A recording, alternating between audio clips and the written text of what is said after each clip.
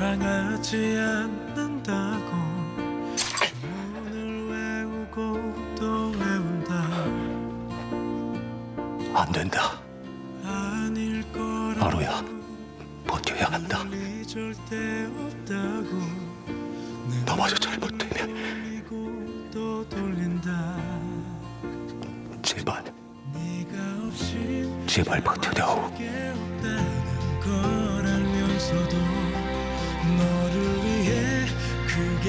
내가 할 수 있는 전부였어 꼭 드시오. 그래도 살아야 할 거 아니오. 우리의 마지막이 아플 걸 알고 있기에 영화 같은 기적을 바랄 거기 다치지 마요.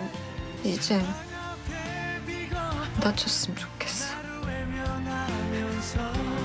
오라버니가 오라버니가 아니어서 좋다고 아직 말도 못했는데.